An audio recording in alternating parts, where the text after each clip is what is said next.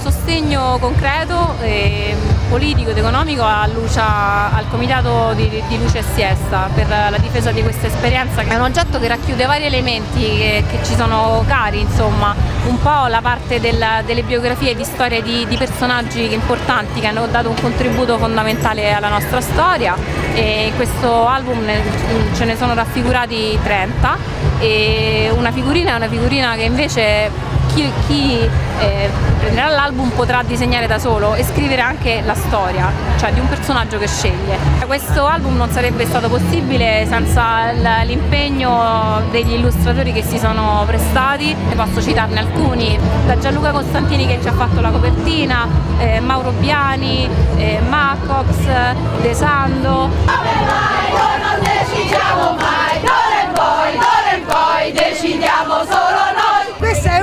Campagne in difesa della Casa delle Donne Luce Siesta.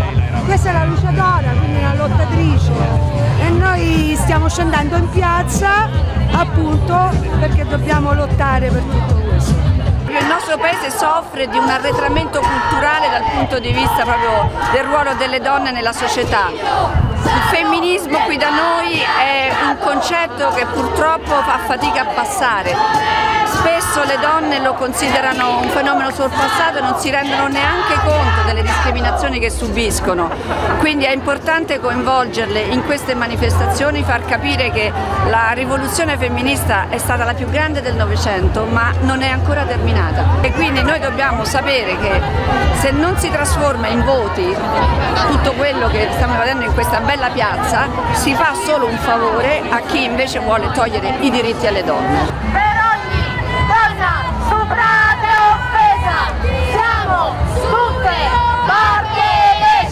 Sono di recente usciti gli ultimi dati Istat e Eurostat sul, sulle femminicidi in Italia. Il dato è sconvolgente. Nei soli dieci mesi dell'anno sono morte più di 94 donne e ancora oggi sentiamo sui giornali, anche questa mattina, l'ennesimo femminicidio. Il 43% delle donne in Italia lavora, il che significa che una su due non lavora. Esiste ancora un gap salariale di più del 23%. Una donna ogni 15 minuti denuncia una violenza sulle donne ed è per questo che oggi siamo in piazza piazza ed è per questo che simbolicamente, anche per raccontare e per parlare di queste donne che non ci sono più, che oggi alle 16.30 non una di meno lancerà un grido muto, è il grido di tutte quelle donne che più non hanno voce, ci siederemo tutte a terra, staremo in silenzio per 5 minuti e alla fine di questi 5 minuti ci solleveremo, esploderemo in un grido che voglia di cambiamento e che desiderio di trasformazione.